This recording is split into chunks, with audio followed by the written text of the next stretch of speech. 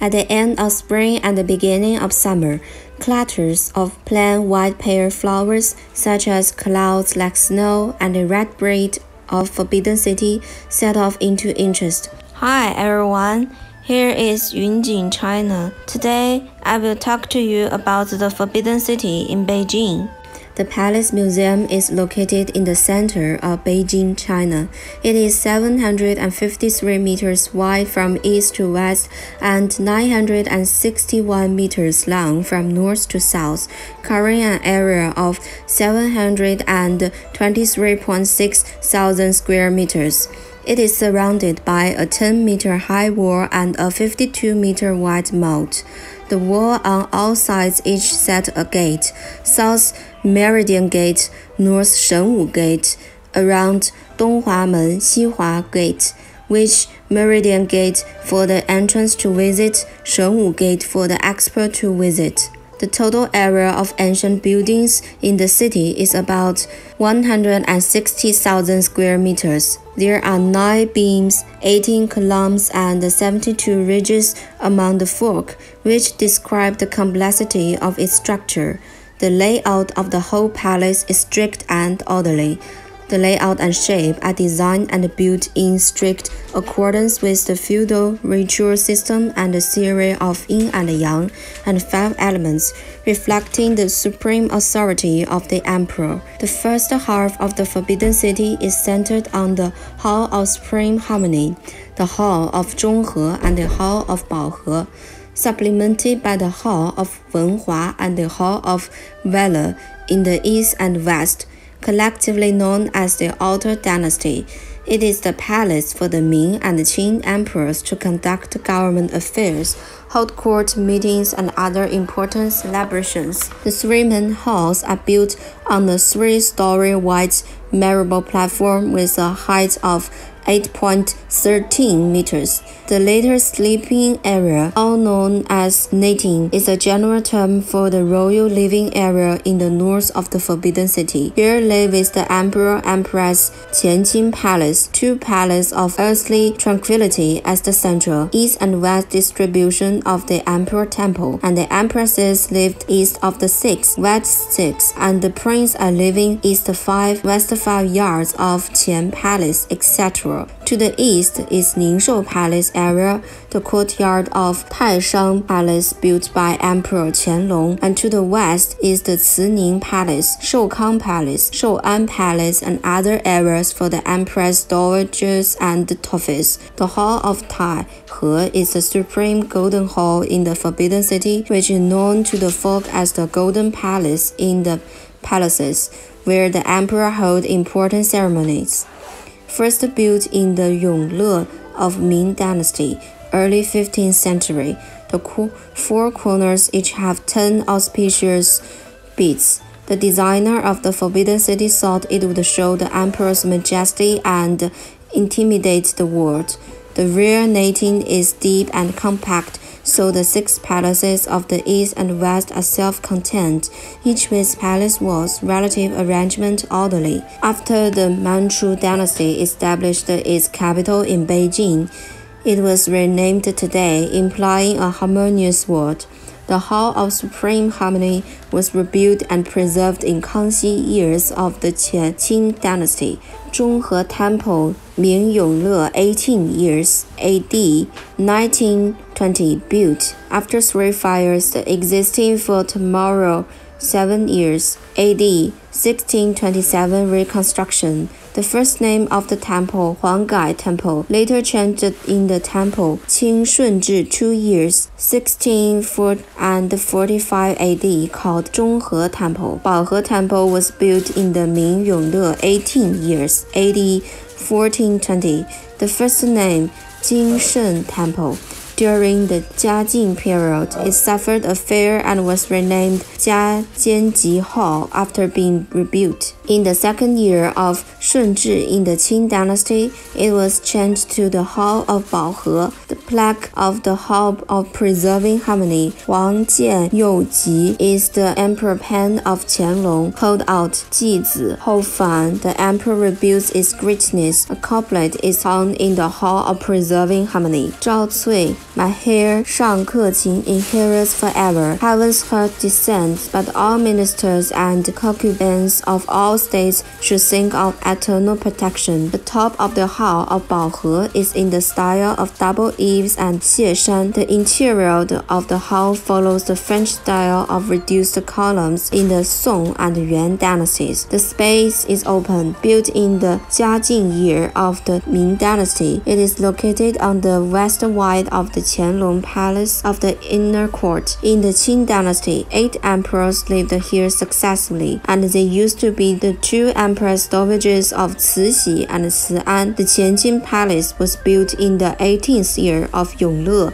in the Ming dynasty, 1920, and the existing building was built in the third year of Jiaqing in the Qing dynasty, 1798. Jiaotai Hall was built during the Ming Jiaqing period and rebuilt during Shunzhi, Kangxi, and Jiaqing years. Kunning Palace was built in the 18th year of Yongle in Ming Dynasty, 1420 AD. The palace of the empress in the Ming Dynasty was rebuilt in the style of Qingning Palace in Shengjing in the 12th year of Shunzhi in Qing Dynasty, 1655 AD. The four rooms at the west end are used as places for shamanism to worship gods, and the two rooms at the east and at the bridal chambers of the emperor's wedding. The three emperors Kangxi, Tongzhi, and Guangxu, who ascended the throne when they were young, all got married here. The Wenhua Palace was originally the emperor's palace during the Tianshun and Chenghua years of Ming Dynasty. Before the prince became the emperor, he took office in Wenhua Palace. In the 15th year of Jiajing, 1536, it was changed to the emperor's palace. It was rebuilt in 2004, and it was the place where the emperors of Ming and Qing dynasties feasted. Wu Ying Hall was built in the early Ming Dynasty and is located west of Xihe Gate of Waichao. Forty years after Emperors Kangxi, Wu Ying Hall published a large number of books.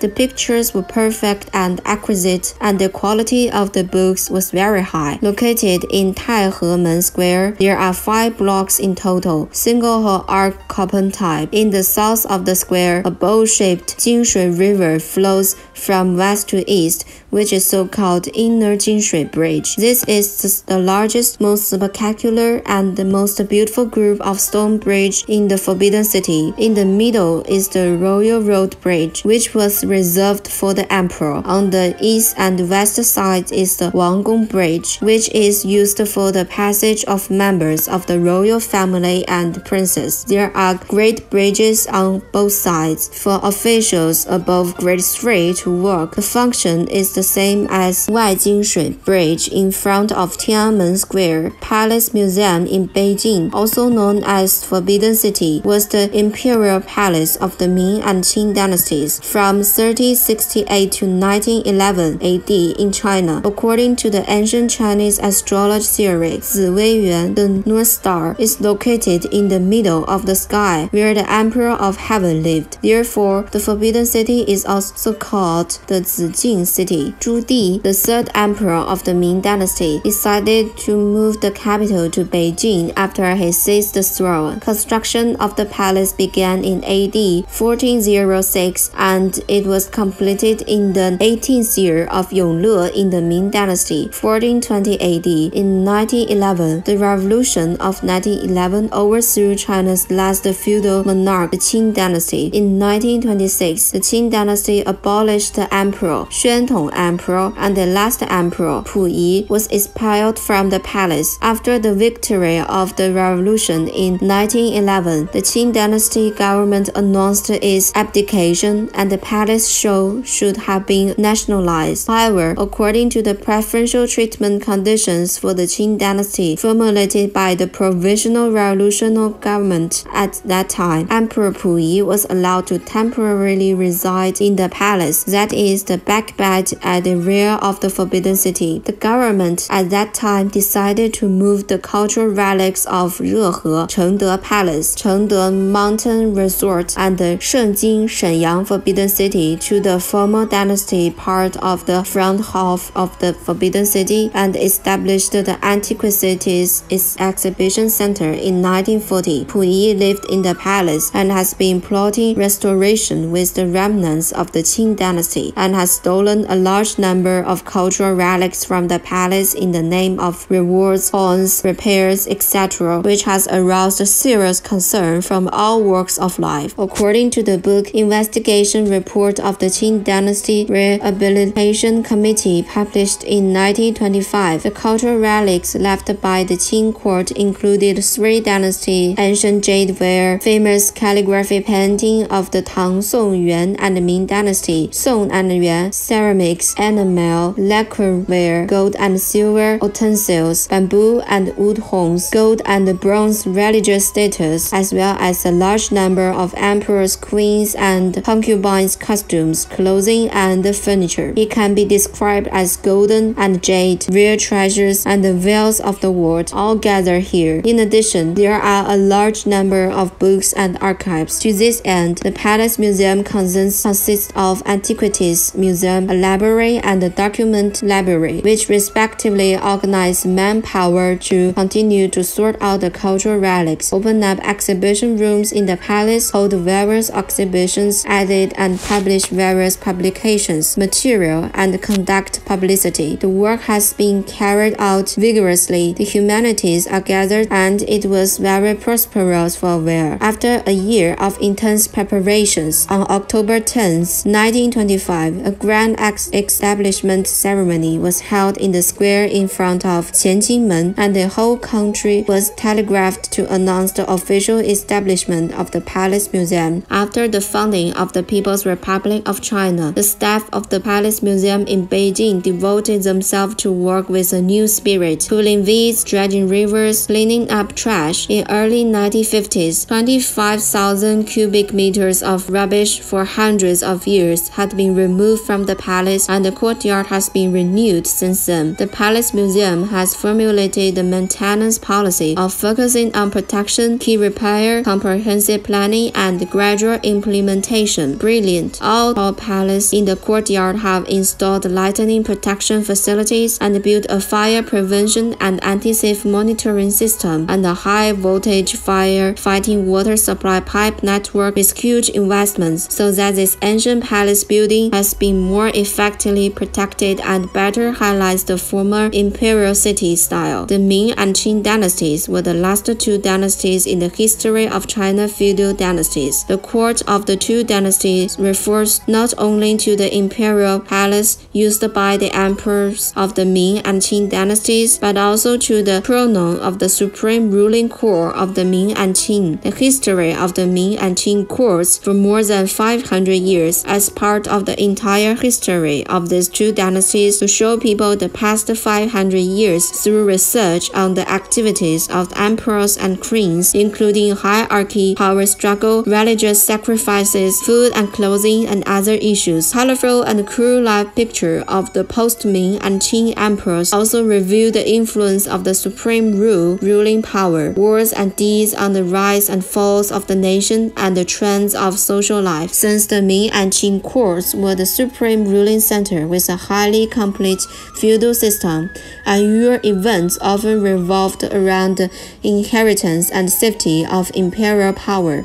For example, the civil engineering change in which the Orthodox emperor of the Ming dynasty was captured, the Renyin palace change in which the Jiajing emperor was assassinated by a maid, the battle for Sanguan Temple in the early Qing dynasty when the kings and ministers established imperial power, and Xinyu Cope in which the Empress Dowager Cixi sought power in the late Qing dynasty, etc. The Ming and Qing dynasties can draw from the rich cultural accumulation of the past dynasties. On this basis, there is a general trend of summarizing traditional culture. In the Qing dynasty, the activities of the supreme rulers using cultural activities as a means to achieve political goals was strengthened, and the cultural exchanges between China and foreign countries were developing in breadth and depth. As a result, philosophy, religion, academic thought, literature, and art are diverse and brilliant. However, traditional feudal education as an important way to inherit culture is still going forward. The relatively stable customs were influenced by the different ruling nations and the religion environments of the Ming and Qing dynasties, especially in some differences in court customs. By the end of the Qing dynasty, social mutation and transformation were reflected in various fields of culture. The new changes appeared accordingly. Working into the Palace Museum, you will walk along the central axis and you can feel the broad mind of the prosperous dynasty from the ups and downs of the architectural movement. You can capture the gentle atmosphere of court life through the exquisite furnishing of the six east and west palaces and the elegant pattern of the inner courtyard. From the yellow gauze curtain rolled up in the eastward pavilion of Yanxi Hall, we can trace the historical vicissitudes of the Chinese nation's internal and external troubles a hundred years ago. Here is the end of this program. See you next time.